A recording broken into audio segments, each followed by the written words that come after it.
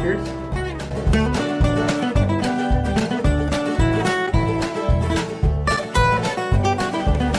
Come with me.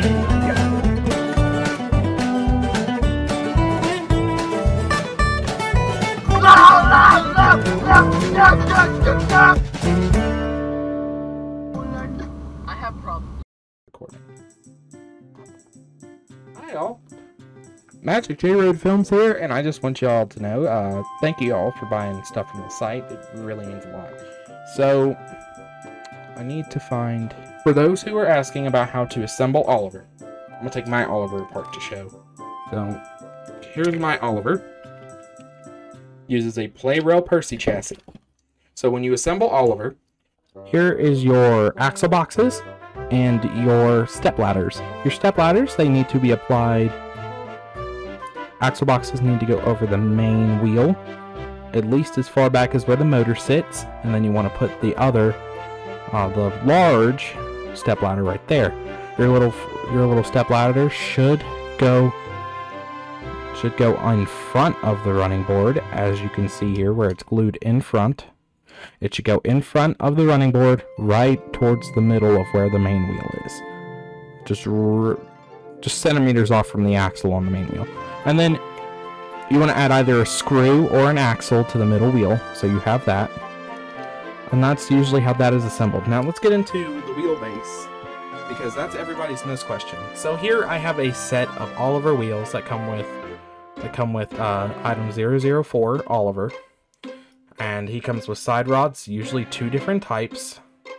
This is the this is the other type, but I've got I've got the newer type of side rods on here now. You just kind of you know set them over the axle like that.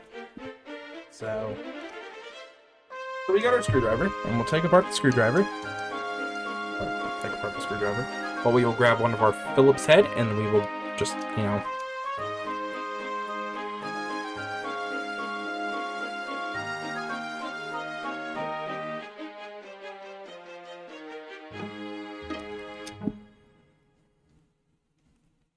Well, mine's not having a fun time. There we go. Your axles will have to come out, or your your weights will have to come out, and then you just, for my example, just take. I gotta take off the Oliver um, uh, Oliver wheels I have on here now, and so literally you just you just slip this over the axle on both sides I can. I don't want to ruin these wheels or these axles. These, but with it, you just take the axle and you just sit it in there.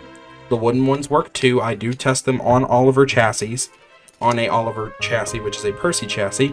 I always test it before I I put it on. So then, yeah, you just sit it there, and then you put. You should be good to just if you have axles on your middle wheels, which I would recommend either using with the smaller ones. If you've got the big ones, I recommend using an axle.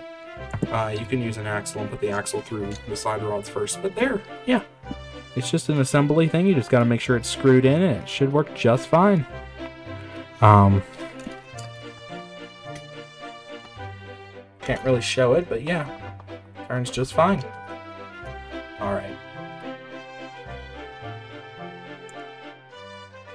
Thank you all for watching. I very much appreciate it, and I hope you all have a great weekend.